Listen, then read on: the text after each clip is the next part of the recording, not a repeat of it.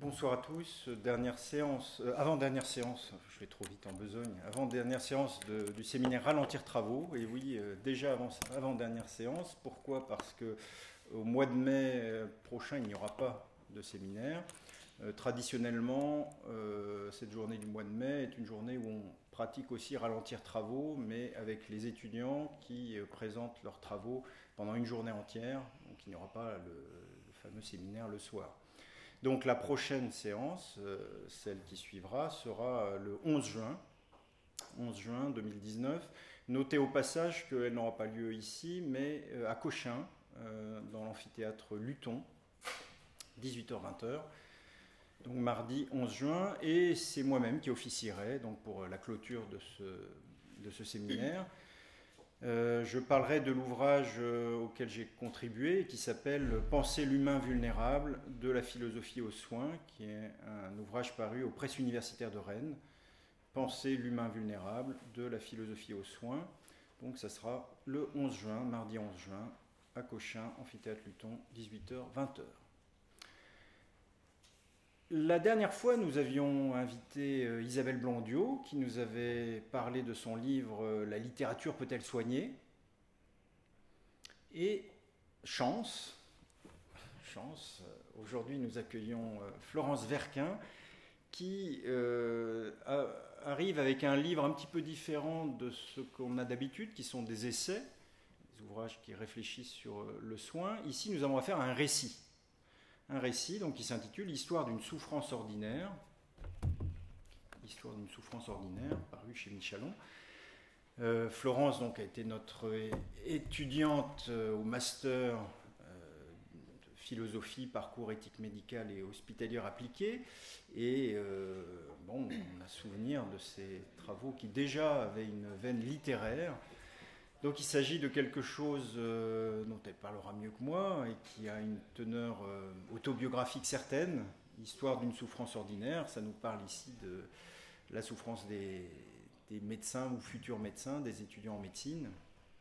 Euh, chose qui a été évoquée dans l'actualité à plusieurs reprises et dont ici il y a un travail qui met en littérature la souffrance empirique.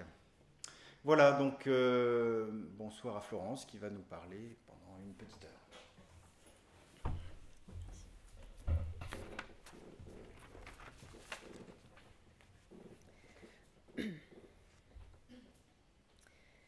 Bien, bonsoir. Merci beaucoup Bertrand pour euh, ton invitation. Je suis heureuse de retrouver à l'occasion de cette soirée l'ambiance très sympathique de ces années de master de 2013 à 2015, cela semble déjà si loin. Merci aussi pour ton attention à l'époque et de t'être aperçu qu'il se jouait pour moi quelque chose d'important dans cette histoire.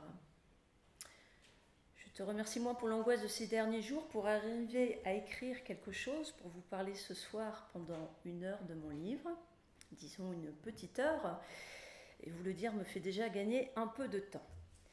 Et non pour gagner du temps, et non pour gagner du temps, mais parce que c'est le sujet et que j'aime lire à voix haute, je vous propose d'émailler mon intervention de la lecture de quelques extraits de mon livre. Celui-ci se présente sous forme de fragments de vie d'une apprentie médecin, déroulé de manière plutôt chronologique, évoquant ainsi les grandes étapes traversées pendant les études de médecine, qui, même si ces études évoluent de temps à autre, sont communes à beaucoup d'étudiants depuis de nombreuses années. Alors il s'agit bien d'un récit dont je vais vous parler, largement autobiographique en effet, mais rassurez-vous, je ne vais pas pour autant vous parler de moi pendant cette petite heure. Car ce n'est pas un témoignage, c'est bien un récit. La nuance est importante. Un récit dans lequel il y a d'ailleurs des aménagements avec la réalité pour mieux soutenir mon propos, car il s'agit bien d'un propos sur la souffrance morale que l'on peut éprouver tout le long, je dis bien tout le long, des études médicales, et peut-être bien même après. Dans différents ouvrages, articles, films ou documentaires, si ce n'est sur les réseaux sociaux, la violence banalisée des études de santé en général, ainsi que le mal-être des, hospitaliers, ont été largement décriés ces derniers mois. Et qui ne l'entend pas aujourd'hui est décidément sourd. Peu de monde voulait l'entendre jusqu'alors, mais tout le monde sait désormais, même le gouvernement semble-t-il, qu'il y a comme un problème avec les études médicales, comme un problème avec l'hôpital, parfois comme un problème avec les médecins. J'ouvre à ce propos une petite parenthèse pour dire qu'il y a plein de médecins super compétents, super humains, super abordables. Et tout ce que j'ai écrit dans ce livre et tout ce que je vais dire ce soir n'enlève rien à cela. Je ferme cette parenthèse qui mérite d'exister. Alors qu'en est-il au milieu de ces différentes productions et dans ce débat actuel, dans celui de la réforme des études médicales, de ma petite histoire d'une souffrance ordinaire? Eh bien, je crois que cette histoire, finalement dans l'air du temps, aborde une souffrance plus globale, en lien avec diverses problématiques qui sont relativement niées dans le monde médical, en particulier dans les facultés de médecine. Et là, je dois rouvrir une parenthèse pour dire qu'il y a sans doute des facultés de médecine formidables, des doyens formidables, il y a peu de doyennes formidables, mais ça c'est pour d'autres raisons, c'est une parenthèse dans la parenthèse. Des enseignants formidables. Sans doute. Fermons cette parenthèse qui mérite peut-être moins d'exister. En tout cas, cette souffrance, je l'ai traversée et ce fameux master d'éthique m'a donné l'occasion d'exprimer enfin ce que j'avais à dire de mieux comprendre les enjeux multiples de cette souffrance, de mettre des mots sur un vécu intériorisé depuis longtemps, vécu qui m'a fait faire mes premiers pas en écriture pendant les années d'internat, premier pas que j'officialise donc désormais avec ce livre, et je compte bien poursuivre, mais c'est une autre histoire, je vous ai dit que je ne parlerai pas de moi.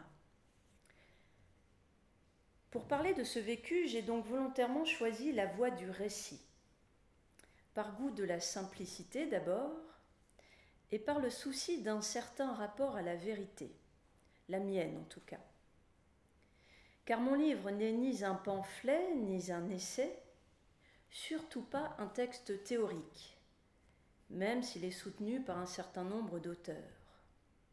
Il s'agit bien d'un récit, d'initiation peut-être, c'est-à-dire d'un objet que j'ai voulu littéraire raconter une histoire pour faire réfléchir. Car réfléchir, apprendre à réfléchir, j'entends sur ce qui se passe là avec le malade dans cette relation hors de l'ordinaire, c'est exactement ce qui manque dans les études de médecine. On y apprend juste à devenir une bête à concours et éventuellement devenir un bon technicien de la médecine. Premier extrait.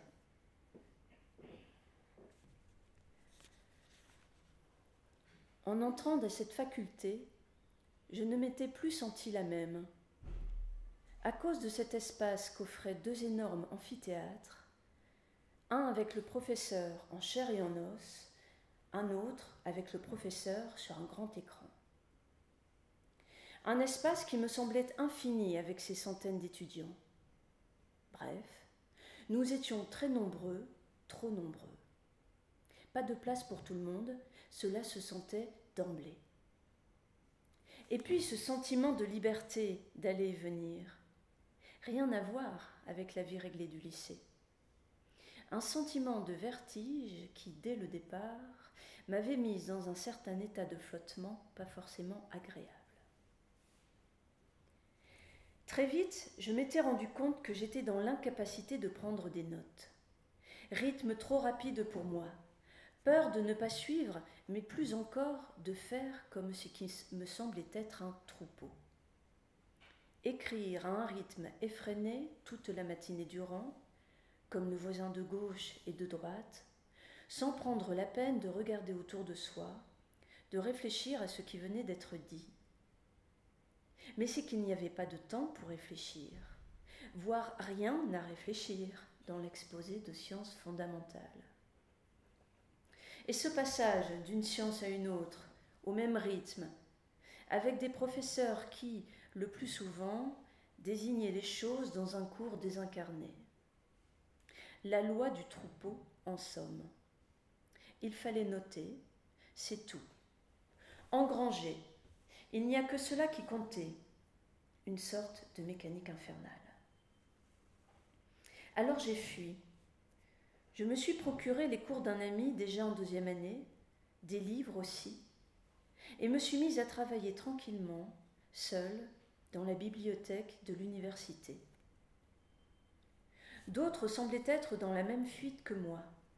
Cela me rassurait, car j'avais quelques scrupules à ne pas suivre les enseignements. Je me demandais si je pouvais réussir ainsi, sans trop savoir pourquoi, j'en avais pourtant l'intime conviction. Il me fallut quand même deux ans pour y arriver. De temps à autre, pour soigner mes scrupules, j'assistais à certains cours, ceux dont j'étais curieuse malgré tout, ou plus encore ceux dont l'orateur me plaisait, ce qui était rare. Je pouvais ainsi raconter quelques bribes à mes parents le soir pendant le repas car j'avais décidé de leur cacher mon entreprise.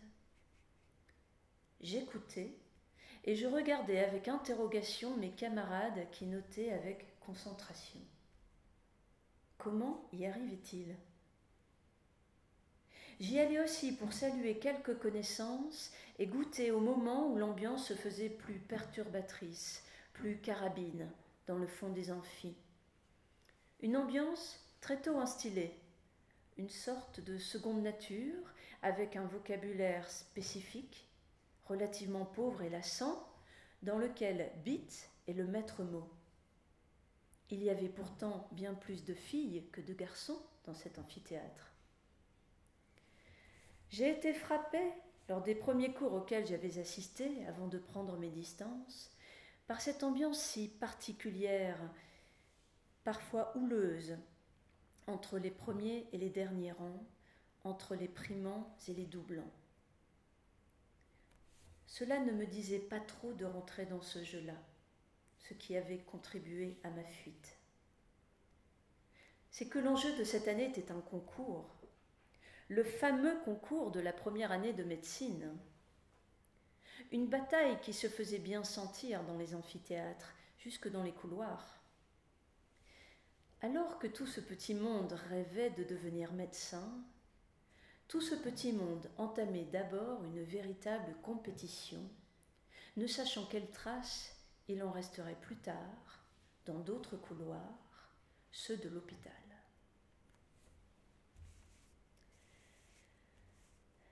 J'ai voulu par ce récit, par cette narration, engendrer du sens et de la pensée. Dans un article paru récemment dans Le Monde, l'historienne Mona Ozouf dit La littérature fait entrer l'histoire dans le concret des vies. Elle fait descendre le politique dans le domestique. Cette idée me plaît bien. Il s'agit par le récit de mettre en forme une quête de la connaissance de soi et une prise de conscience sociale. Il s'agit, comme l'affirmait Ricoeur de penser l'identité comme narrative, l'individu se constituant dans une narration de soi sans cesse renouvelée. Et il y a de quoi se renouveler tout au long de ces interminables études. Il me semble enfin que le récit permet un point de vue sensible, dans lequel la dimension éthique du métier se rend particulièrement visible. Oui, pour traiter de ce sujet assez tabou de la souffrance morale en médecine, il me semble que l'écriture littéraire apporte une dimension parlante et vivante, authentique.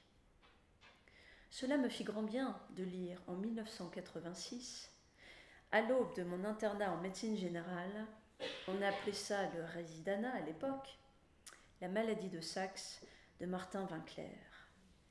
Lui qui affirme par ailleurs, pour clore sur cette question du récit, que la médecine, la maladie, les thérapeutiques, on les apprend de la bouche des médecins et dans les livres de médecine.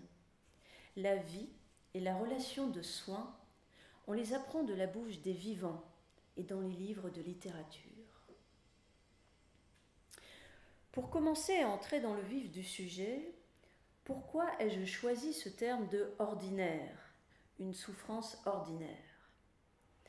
D'abord, parce que cette souffrance semble essentielle, inhérente à l'apprentissage de la médecine dans ce que celui-ci donne à voir de notre condition d'être mortel et dans ce qu'il confronte à la souffrance de l'autre, dans ce qu'il confronte aussi à un monde hospitalier rude. On y reviendra bien sûr. Ensuite, cette souffrance est ordinaire car, toute essentielle qu'elle soit, elle s'avère banalisée par le système hospitalo-universitaire, voire niée. Et cette banalisation engendre elle-même une souffrance, plus contingente celle-là, qui pourrait ne pas être, une souffrance commune, une souffrance ordinaire. Et d'ajouter qu'il y a peut-être des étudiants plus marqués par cette souffrance, des étudiants plus sensibles que d'autres pour une raison ou pour une autre, des étudiants qui seraient peut-être plus perméables à cette souffrance essentielle, tandis que d'autres s'en défendraient, des étudiants qui seraient par ailleurs plus vulnérables à la part plus contingente de celle-ci, tandis que d'autres s'en accommoderaient. Alors qu'en est-il maintenant des enjeux multiples de cette souffrance? Mon propos dans ce livre n'est donc pas tant de parler de la violence des études de médecine, ce que d'autres ont fait avant moi, que de parler de la négation de la vie psychique en médecine, de la vie émotionnelle entre autres, ce qui est en soi une violence. Négation de cette vie psychique face aux enjeux philosophiques, sociologiques et psychologiques existants dans les études médicales.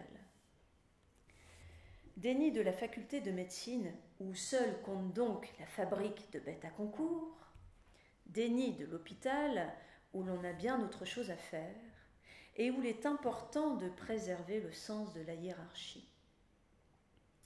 Mon livre traite de ces enjeux visibles ou invisibles, mais qui existent bien.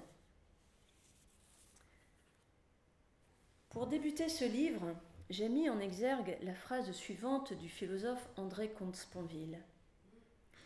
Les médecins ont besoin de philosophie parce qu'ils sont confrontés au pire. La médecine est un métier tragique. À l'autre, la médecine est un métier éthique et à eux-mêmes. La médecine, même en équipe, est un métier solitaire. Tout philosophe n'a pas besoin d'être médecin, mais tout médecin a besoin d'être philosophe, dit-il. Oui, il y a bien des enjeux philosophiques à être confronté ainsi à la mort, à la maladie, au handicap.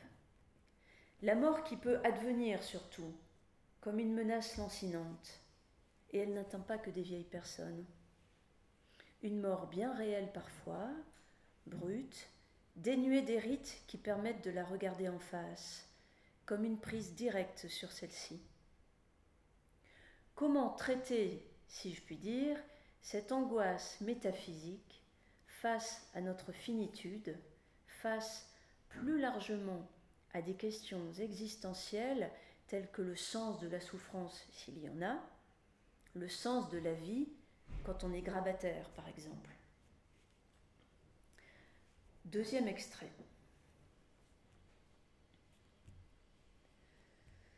Tu es fatigué. Pourtant, tu ne fais rien de la journée. Toute la journée, tu es allongé sur un lit, un lit d'hôpital dans un service de long séjour toute la journée durant, depuis des mois. tu n'en finis pas de mourir. Toi qui étais si active, tu es tellement fatiguée que tu ne parles plus. De toute façon, tu n'as plus rien à dire et personne avec qui discuter. Tu es le genre de personne qu'on finit par ne plus visiter. Il faut dire que ce n'est pas très drôle d'être à tes côtés. Tu provoques ennui et malaise. Toi qui aimais tant bavarder, toi qui aimais tant la vie avant, avant de faire cet accident vasculaire cérébral radical qui t'a complètement plombé. Tu as une voisine de chambre qui est dans le même état que toi, plus ou moins comateuse toute la journée, grabataire. Deux êtres dans la même pièce, à longueur de jour et de nuit, mais comme indifférents l'un à l'autre. Il y a d'autres personnes comme toi dans d'autres chambres de ce, service. Il y en a d'autres, à peu près solides sur leurs jambes, mais qui ont complètement perdu la tête. D'autres encore sont en meilleure santé, et celles-là, on se demande ce qu'elles font là. Quoi qu'il en soit, là où tu te trouves maintenant, il n'y a que des vieux. Tu es tellement absente à la vie que quand on vient te faire des soins, les gens se parlent entre eux, de leurs vacances, de leurs sorties, comme si tu étais morte. Une sorte de bavardage face à l'incommunicabilité apparente, face à la mort qui rôde. Enfin ça, c'était surtout au grand hôpital, quand tu avais fait ton accident vasculaire.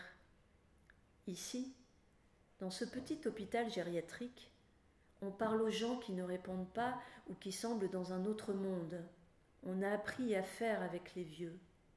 On essaie en tout cas. C'est à toi que certains racontent leur sortie. Tu ne sais plus rien faire seul. Tous les matins, on vient te laver, te changer. Surtout la couche avec laquelle tu passes désormais la journée et la nuit. Une couche. Quelle terrible et inattendue régression. Avant ton accident vasculaire, ton rêve était de vivre le plus longtemps possible et en bonne santé.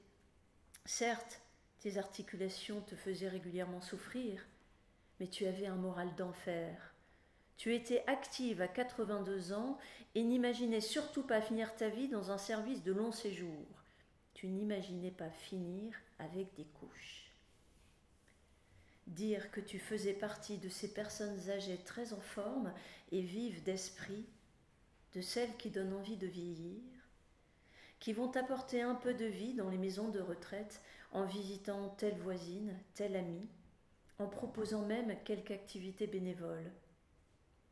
Ce sont surtout des vieux, des vieilles en fait, qui vont visiter les vieux, surtout quand ceux-ci n'ont pas ou plus de famille, ou quand la vie les a isolés pour une raison ou pour une autre, en perdant une compagne ou un compagnon par exemple. Surtout quand ils n'ont plus grand-chose de vivant en eux. Tu aurais aimé partir d'une belle mort, comme on dit, d'un coup, sans prévenir ni t'en rendre compte, d'un arrêt du cœur, comme ta mère à l'âge de 85 ans, et mourir chez toi, dans ta maison que tu aimais tant, avec tes souvenirs. Pourquoi as-tu survécu à cet accident vasculaire? Pourquoi t'a-t-on amené ici? Ton heure n'était-elle pas venue?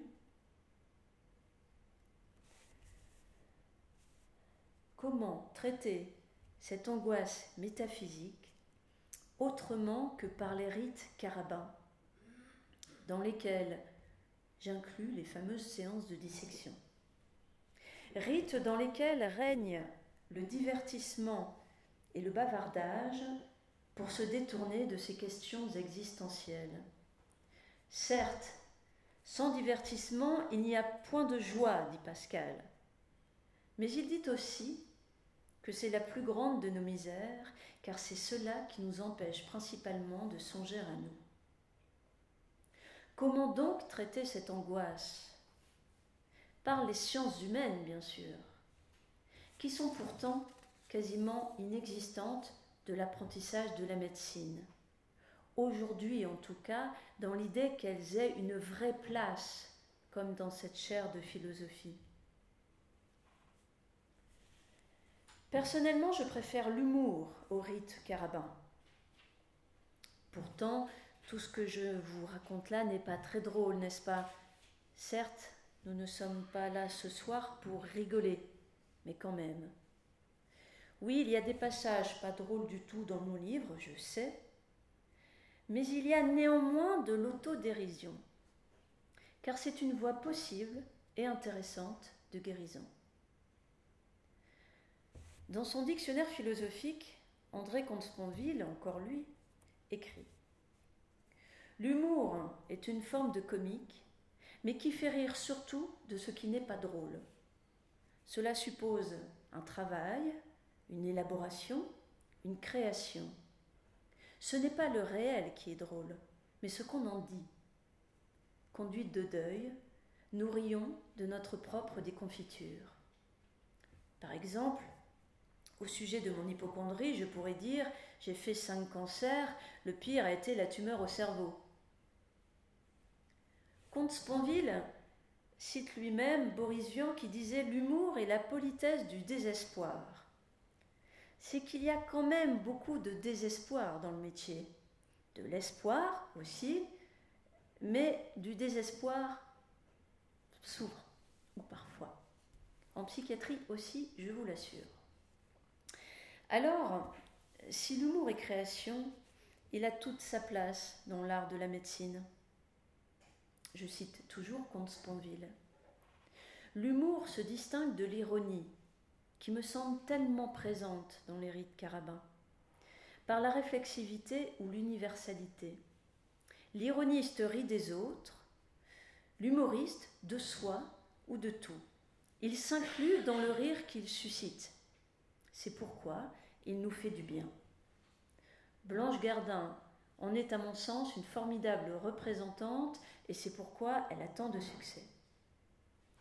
L'ironie méprise, exclut, condamne, l'humour pardonne ou comprend, il soigne ou apaise. On connaît bien les deux à l'hôpital, je crois, mais seul l'humour soigne, ayons-le en tête. Mais devenir médecin est avant tout faire la rencontre de malades, eux qui ont parfois tant d'humour si on veut bien les laisser s'exprimer. C'est bien un métier éthique. Alors, il était important pour moi de faire exister ce patient à travers cette adresse que je lui fais dans mon livre, de faire exister ce dialogue entre un je apprenti médecin et un tu patient. L'éthique en médecine n'existe que si le patient existe, et je ne pouvais donc que le faire exister à travers ce tu. Pour peut-être mieux montrer aussi qu'il n'y a qu'un pas, quand on est nié dans sa vie psychique, pour nier celle de l'autre, celle du patient en l'occurrence, et c'est là où le bas blesse. Un malade, quand on devient externe, que l'on va commencer par apprendre à ausculter, à intruser aussi, avec une aiguille plus ou moins grosse, plus ou moins longue, tantôt pour un gaz du sang, une ponction lombaire ou un médulogramme, avec une main parfois tremblante, prenant parfois plaisir à faire ses gestes en observant cette aiguille exactement au bon endroit. Avant de s'adresser au sujet, on va d'abord s'adresser au corps, au risque d'apprendre à ne faire du sujet qu'un objet de soin. Des gestes qui, néanmoins, peuvent être l'occasion de découvrir l'autre en soi, cet autre, cet être souffrant, cet être faillible, qui est ce qu'il peut. Combien d'étudiants en médecine ne sont-ils pas tombés dans les pommes au moins une fois? Soi-même comme un autre, nous dit Ricoeur, dans un rapport à soi qui passe par l'autre. Des gestes qui, par ailleurs, occupent et qui, quand on a le souci de bien les faire en pensant au patient, peuvent, peuvent permettre d'apaiser l'angoisse. Mais quand on est soi-même un objet, c'est-à-dire une fonction, un ce que, à défaut d'un qui, comme dirait Arendt, on apprend peut-être assez naturellement à objectiver le patient. Une fonction qui consiste, outre à être la petite main de l'hôpital, mais il faut bien que quelqu'un le fasse, à engranger un maximum de connaissances pour se préparer à l'autre grand concours devenu comme une fin en soi, le fameux concours de l'internat. Avec le message implicite et faux qu'un bon bachoteur fait un bon médecin. Faisant fi des valeurs de l'intuition et du sens clinique. Avec l'autre message implicite, celui de médecine plus noble que d'autres, où il faut arriver dans les premiers à ce concours, une sorte de récompense. Par principe, à une époque où cela était encore possible, je n'ai pas passé ce concours. Cela tombait bien, j'avais fermement choisi la médecine générale. Un métier éthique, disions-nous. Lévinas a développé l'idée de l'obligation dans laquelle nous met le visage de l'autre. L'accès au visage est d'emblée éthique, disait-il. L'enjeu éthique n'étant pas ici dans un face-à-face avec un alter ego, un autre que soi en tant que même, l'enjeu éthique se trouvant dans un visage qui est autrui en tant qu'autre, en tant que tout autre, c'est-à-dire une transcendance. Rien que ça. Franchement, il y a quand même pas mal de résistance à cette responsabilité éthique. Troisième extrait.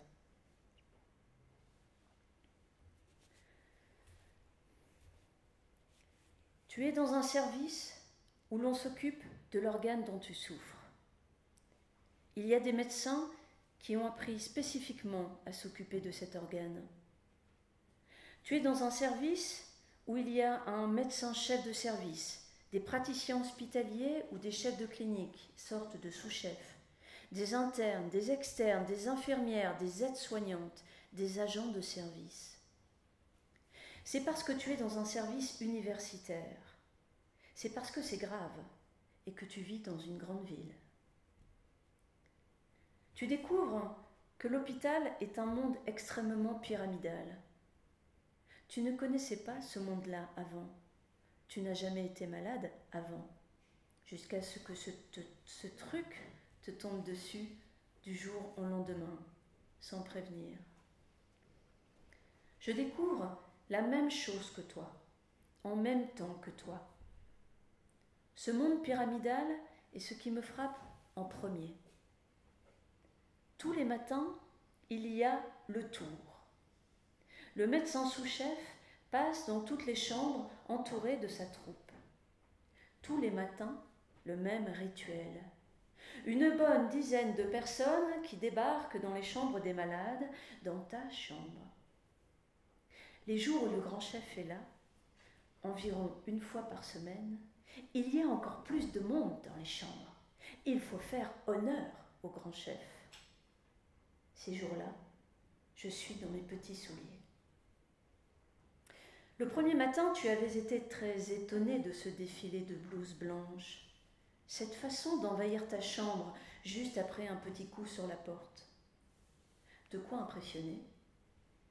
Mais tu n'es pas du genre à te laisser intimider facilement. Cela ne t'avait pas empêché de poser les questions que tu avais en tête. Une façon d'exister face à toutes ces blouses blanches tu aurais quand même préféré en poser certaines devant moins de monde. Tu t'étais dit que les médecins n'aimaient peut-être pas l'intimité. En tout cas, ils avaient une drôle de façon de traiter celle des autres. Moi, je déteste ce tour du matin. Je m'y sens au plus mal, au bord du malaise.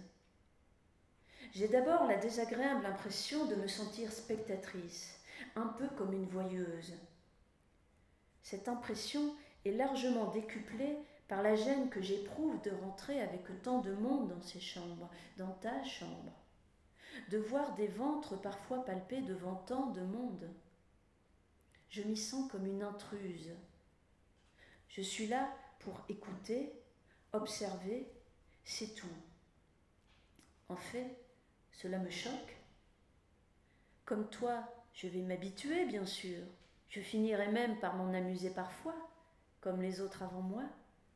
Mais pour l'instant, ça me choque.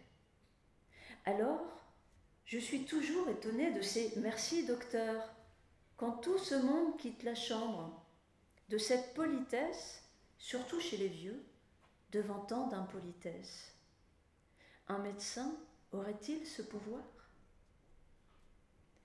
Mais le pire pour moi est que parfois, un cours s'improvise dans la chambre, sans presque se soucier du malade. Dans ces moments-là, je me sens particulièrement mal à l'aise et je ressens de la colère. Je remarque que plus les gens sont vieux ou un peu ignorants, plus on fait comme s'ils n'étaient pas là, comme si c'était moins grave. Mais je dois ravaler ma colère. Je ne peux pas dire au sous-chef Excusez-moi, monsieur, pourriez-vous parler de tout cela à un autre moment que devant le patient? On ne peut pas se le permettre dans ce monde pyramidal, c'est implicite. Alors, comme une imbécile, je me tais. Pour devenir un qui, un sujet en somme, il faut se révéler. C'est par le verbe et l'action, dit Arendt, que peut se produire cette révélation. Et elle précise l'affinité entre la parole et la révélation est beaucoup plus intime qu'entre l'action et la révélation.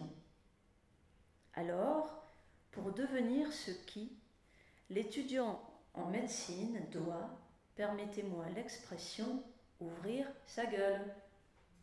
Et on doit aussi lui adresser la parole et l'entendre. Être avec, condition de la révélation, dit Arendt. Et c'est la même chose pour le malade. C'est si l'on est avec lui qu'il existera en tant que sujet. Car, comme l'écrit Ricoeur, on entre véritablement en éthique quand à l'affirmation par soi de la liberté s'ajoute la volonté que la liberté de l'autre soit. Il faut pouvoir dire je pour que ta liberté soit. Selon Ricoeur, c'est bien là la source d'une intention éthique. Il faut la croyance que je peux initier des actions nouvelles dans le monde, je suis très exactement ce que je peux et je peux ce que je suis, écrit-il. Un être faillible et capable à la fois. Joli programme. Mais pour ouvrir sa gueule, encore faut-il sortir de sa servitude. Vaste chantier, me direz-vous, car que l'on soit étudiant en médecine ou patient, ce n'est pas si simple. Dans un monde où règne le savoir-pouvoir, pour reprendre l'expression de Foucault. Un savoir-pouvoir qui produit par ailleurs un discours sur la norme, la confondant parfois avec le pathologique. Mais c'est là où interviennent des enjeux plus sociologiques. Bourdieu dirait que l'hôpital, Bourdieu dirait que l'hôpital, Bourdieu dirait que l'hôpital est un microcosme autonome à l'intérieur du macrocosme social. Un monde avec ses propres lois où il faut tenir sa place, engendrant une violence symbolique, la fameuse première année de médecine étant un droit d'entrée dans ce monde. Un monde dans lequel il y a pas mal d'héritiers par ailleurs, au sens bourdieusien du terme. Alors, c'est peut-être pour préserver leur rang que les études médicales sont construites sur des concours. Oui, il y a nécessairement une confrontation à la violence symbolique du champ médical quand on est étudiant en médecine. Et pour le patient également. Et elle va volontiers se manifester par des émotions telles que la honte, la timidité, l'anxiété, la culpabilité, la colère, ce que le corps montre par le rougissement du visage, le tremblement, le bafouillement, la sidération parfois, etc. Notamment pendant le fameux interrogatoire au lit du malade. Et c'est un peu une plongée dans ce monde émotionnel de l'étudiant en médecine que je vous propose dans mon récit. Mais le pouvoir symbolique ne s'exerce que s'il est reconnu, c'est-à-dire méconnu comme arbitraire. Il se définit dans et par une relation déterminée entre ceux qui exercent le pouvoir et ceux qui le subissent. Ce qui fait le pouvoir des mots et des mots d'ordre, c'est la croyance dans la légitimité des mots et de ceux qui les prononcent, affirme Bourdieu. Une servitude volontaire comme le disait si joliment la Boétie. Et toute volontaire soit-elle, la servitude, ça peut faire souffrir. Il y a donc celle de l'étudiant en médecine et celle du patient. Et c'est peut-être dans cet état commun qu'ils peuvent parfois entrer en connivence dans un monde pyramidal qu'ils découvrent souvent en même temps. Dans cette époque un peu particulière que nous vivons, le philosophe et sociologue Pierre Rosanvallon affirme au sujet de son dernier livre que le pouvoir est toujours tenté de l'abus de pouvoir, d'où la nécessité de contre-pouvoir. Ce sont les citoyens qui sont les gardiens du rapport à la vérité, au parler vrai, dit-il. Alors, avec mon livre, je me sens un peu comme une citoyenne en disant ce que bon nombre de médecins et de doyens de facultés de médecine ne veulent pas voir ou entendre. Mais bon, les temps semblent changer. Tant mieux. Car heureusement, il y a quand même des possibilités de résistance. Et je ne résiste, pas, pour parler plus de celle du patient, à vous citer l'écrivaine Annie Ernaux dans son livre La place, dans lequel elle évoque son père. Cette citation est en exergue dans un de mes chapitres. Devant les personnes qu'il jugeait importantes, il avait une raideur timide, ne posant jamais aucune question. Bref, se comportant avec intelligence. Celle-ci consistait à percevoir notre infériorité et à la refuser en la cachant du mieux possible. Quatrième et dernier extrait.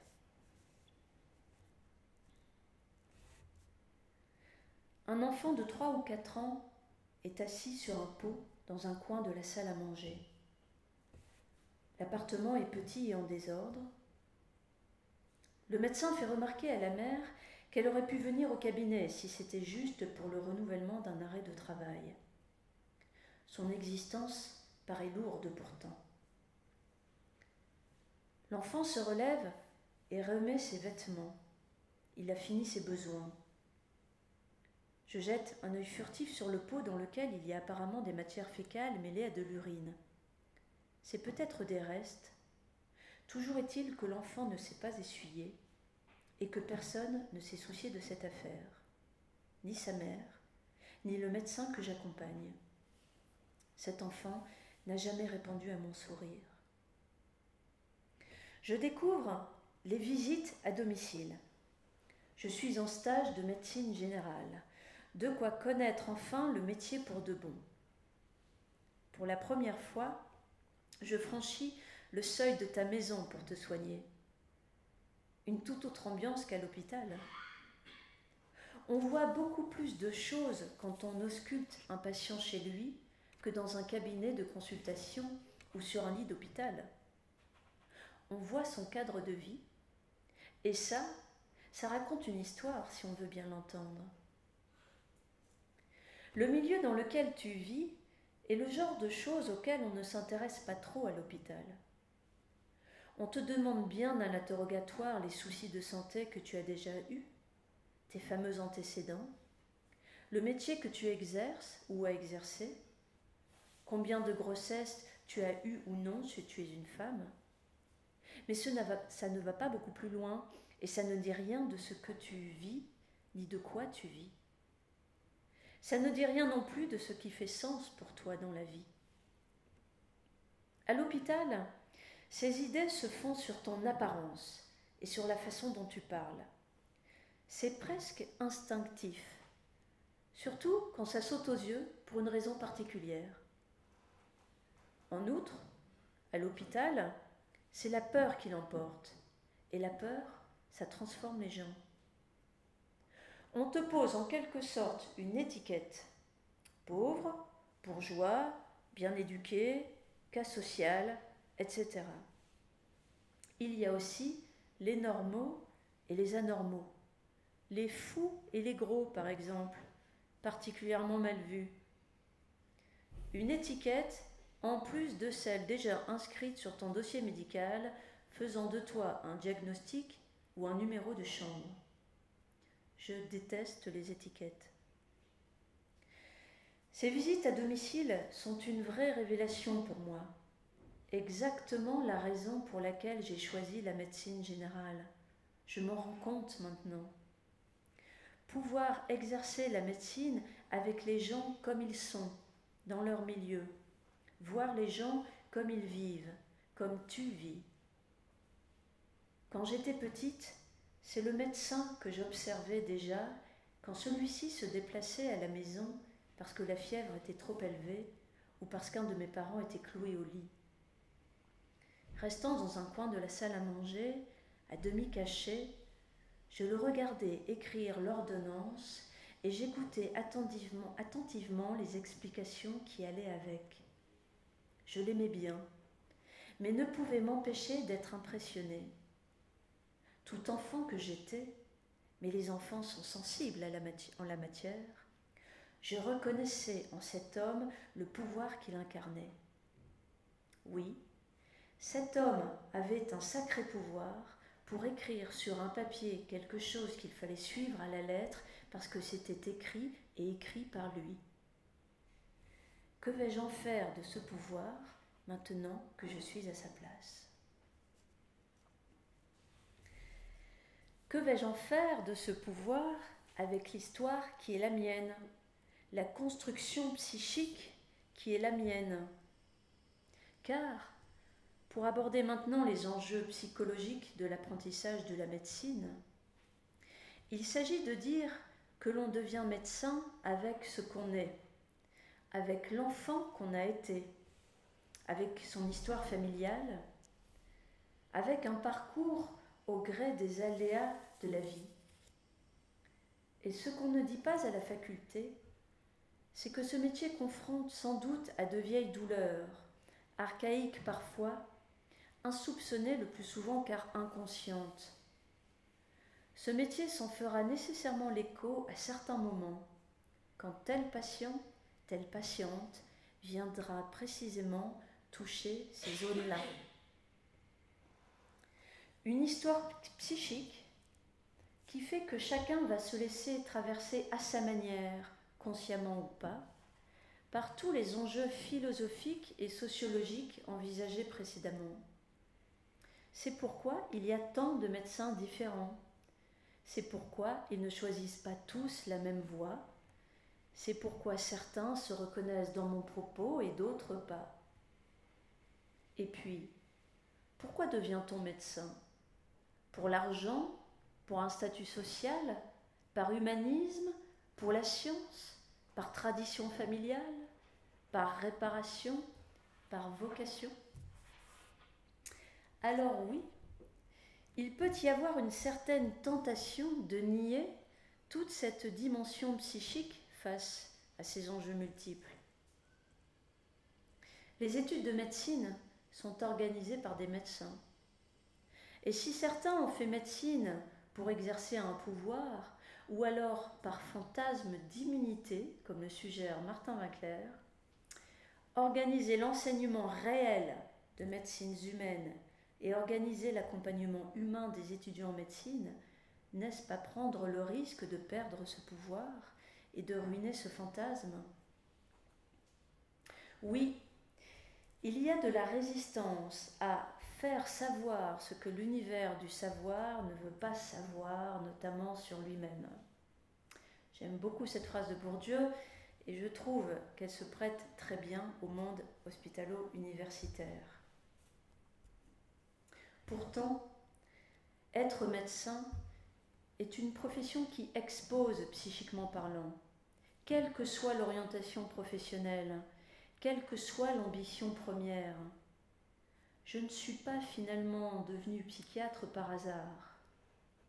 Ce n'est pas par hasard non plus que le taux de suicide est plus important chez les médecins que dans la population générale, puisque je vous dis qu'on n'est pas là pour rigoler. On sait aussi que les soignants mettent plus de temps que d'autres à consulter, et on connaît bien les dangers du burn-out, les dangers. On sait aussi la tendance des médecins à devenir leurs propres médecins, n'arrange rien à tout ça et celle à devenir le médecin de leurs proches. N'arrange rien à tout ça non plus.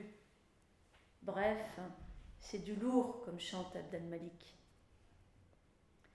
Si l'on est par ailleurs, pour une raison ou pour une autre, un étudiant un peu plus sensible que les autres, comment se construit-on face à tout cela? Comment s'occupe-t-on de cet étudiant? A-t-il une place à la faculté de médecine, à l'hôpital? Lui qui pourrait entendre de manière plus singulière la souffrance du patient.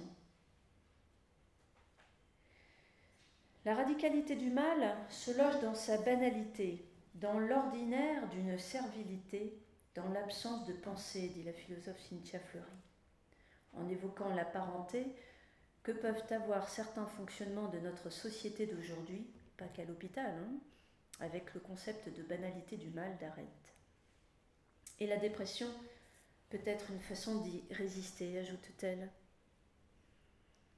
Alors, pour atténuer une souffrance qui surviendra dans ce long parcours, on peut imaginer que l'apport des sciences humaines pourrait la mettre en perspective, la penser, l'aider à la traverser, penser tous les ressorts de cette souffrance morale. On pourrait imaginer aussi des lieux de parole pour parler et faire entendre ce qui se vit dans les stages hospitaliers, des lieux de construction identitaire par la narration. On pourrait imaginer une forme de compagnonnage pour aider l'apprenti médecin à s'individuer, pour éviter les dangers d'un glissement de la banalisation de la souffrance des étudiants en médecine vers une banalité du mal dans la prise en charge des malades. Toutes ces choses-là existent déjà dans certains lieux, mais si peu. Il n'y aurait pas tous les écrits sur les manquements de ces études dont je vous ai parlé au début de mon intervention. Peut-être que l'art de la médecine est quelque chose qui se décide dans une existence de médecin. Encore faut-il prendre en charge son existence. Car, comme l'affirme le philosophe Michel Teretchenko, Seul celui qui s'estime et s'assume pleinement comme un soi autonome peut résister aux ordres et à l'autorité établie, prendre sur lui le poids de la douleur et la détresse d'autrui. Et au final, découvrir la possibilité d'un accomplissement dans le soin de l'autre. Finalement, et pour le dire autrement qu'à travers les trois dimensions que je viens d'exposer, je dirais de mon ouvrage qu'il s'agit d'un livre sur la question de l'idéal et de sa perte, sur l'adhésion ou non à un système de formation, sur le sentiment d'appartenance ou non à une communauté, sur la possibilité ou non de liberté dans un monde de servitude, sur le difficile rapport à l'institution, sur la découverte et la transformation de soi à travers l'autre, sur la question de l'engagement dans le soin et de ses limites, sur le doute, et bien d'autres choses encore dont le respect et le souci du patient. Et il y aurait encore beaucoup à dire sur toutes ces choses-là. Un livre sur ma névrose, sans doute aussi, que j'assume totalement. Il m'arrive encore de rêver que je n'ai pas mes examens de médecine, ou plus exactement que ces jours d'examen, et que je n'ai rien foutu, c'est dire. Au fond, cette histoire d'une souffrance ordinaire est celle d'une désertion progressive. Et si je termine mon livre en ouvrant sur les médecines dites alternatives, en fait complémentaires, c'est non seulement parce que c'est un grand débat qui jaillit dans notre société française d'aujourd'hui et que ce sont de nouvelles pratiques qui s'introduisent progressivement à l'hôpital, nous sommes évidemment en retard sur quelques-uns de nos voisins européens, mais c'est aussi parce que c'est par cette voie que j'ai décidé de déserter le monde médical conventionnel. Une voie qui allie le corps et l'esprit. Il ne s'agirait pas de mépriser le monde, ni de manifester l'outrecuidance de le changer. Non. Il suffirait de ne rien avoir de commun avec lui, écrit Sylvain Tesson dans ses Chemins noirs.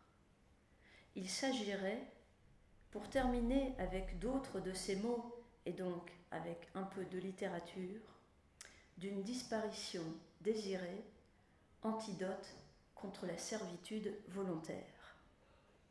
Je trouve que c'est une belle fin pour mon discours. Je vous remercie.